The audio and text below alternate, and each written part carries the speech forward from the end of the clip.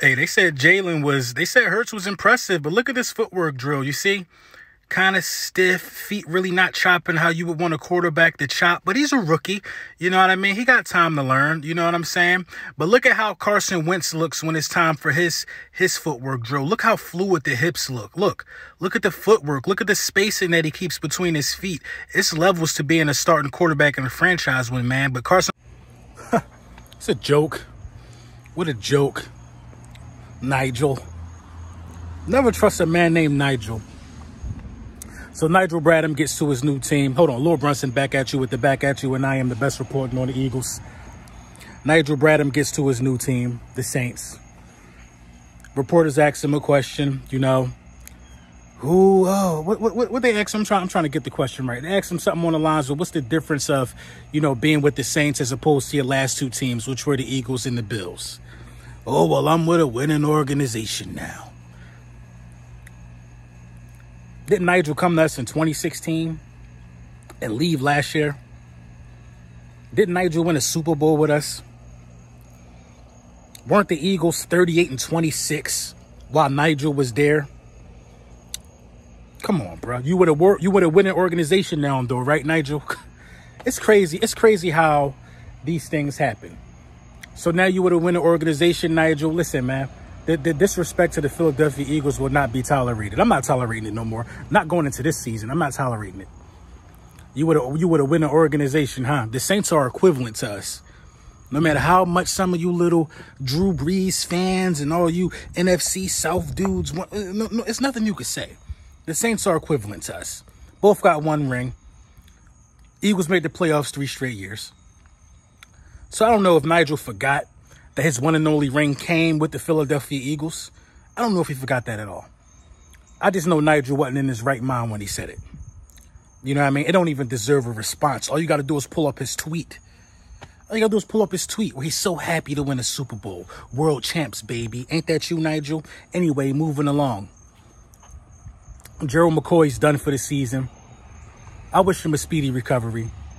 You know what I mean? It just, it just, it just reminds me so much of the wheelchair Wentz jokes. It reminds me so much of the Dallas Goedert getting punched and sucker punched in the club jokes. It just reminds me of so much. It does. It reminds me of so much. But we're going to have some class here in Eagles Nation. We're going to start twisting the narrative. We're not going to sit here and make no fun about no dude who's done for the season and training camp. We've seen this story far too often. You know what I mean? Like I said, I wish him a speedy recovery. You know what I mean? He is one of the better defensive tackles in the game. So for all these Cowboys dudes who about to start making these videos, trying to make you, trying to make it seem like they ain't missing nothing, they bluffing. Come on, man. Gerald McCoy is he one of them ones at the defensive tackle position. Period. You know what I'm saying? It's funny though, you know, some of these Cowboys YouTubers who text me frequently when Eagle news pop up because their ears is so glued to the streets about Eagles news. I ain't getting no text from them today. When Gerald McCoy, you know, when, when he when he ruptured his quad, I ain't getting no text from him today. But you know, that's just how the dice roll. That's how the ball roll. You know what I'm saying? But this is the funny thing about this Gerald McCoy thing. This is the funny thing about this. He's going to miss more time from this one season than Carson Wentz missed in his entire career. Funny how that works, right? Carson Wentz missed eight regular season games. He's going to miss 16 games. He's going to miss 16 games. He's going to double what Carson Wentz got done. You know what I'm saying? He's going to double Carson Wentz's total. It's funny how that works. But you know what I mean? But y'all keep going with the wheelchair Wentz jokes. It's going to get tired soon enough. You know what I mean? When he played his second consecutive season with 16 games and he only missed eight games in his whole career. Come on, bruh. Right now, he missed a two-game a year average, but he wheelchair Wentz still, right? Moving along. Camp, camp looked good.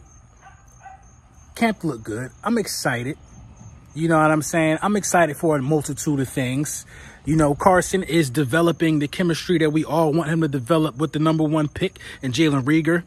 Uh, Dallas Goedert is looking good.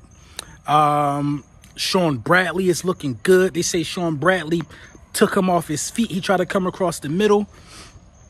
Uh, Quez Watkins continues to impress. DeSean Jackson is DeSean Jackson.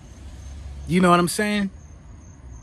Now we had we had quite a bit of talk with, during lunchtime with the bullies about you know some of the injuries that the Philadelphia Eagles have reported today. You know what I mean? A couple guys week to week, couple guys day to day, stuff like that. It's nothing too serious. What you take out of that, what you could take out of that is two things. Number one being that we're just being precautious with the guys on our roster. We're just taking a precaution. You know what I mean? We don't want guys to get hurt for no reason, especially guys who already got a little nagging, little aches and pains. We don't want that. And another thing, you know what I mean? Somebody could be gone. Somebody could very well be on the trade block. Listen, listen, I'm telling you, man, do not be surprised if you see JJ Arcega-Whiteside gone. Do not be surprised if you see him gone. The competition, the competition that we have at wide receiver is way too deep for him to thrive. I don't think he's going to be able to thrive, period. You know what I'm saying? He's just not going to be able to thrive. I just I, I don't see it happening. You you see you see you see Barnett, Deontay Barnett out there caught two touchdown passes in practice today in minicamp. You know, um, both from um, both from um, Jalen Hurts. You know what I'm saying? You see the stuff that Quez Watkins is putting on film and these little workouts and stuff like that. You see Reagor just just already getting reps with the starters. You know what I mean? Everybody has gotten reps with Carson Wentz so far. You know what I'm saying? You see the tight ends. They said Miles Sanders looked amazing. They said Corey Clement looked amazing. I think that, you know, we're, we're getting the pieces together. Dude's going to get out there and we're going to put the right combination of guys on the field at the same time. We're going to see some big things. We're going to see some big things. I'm excited, man. I'm, I'm, I'm truly excited to see the guys in pads. You know what I'm saying?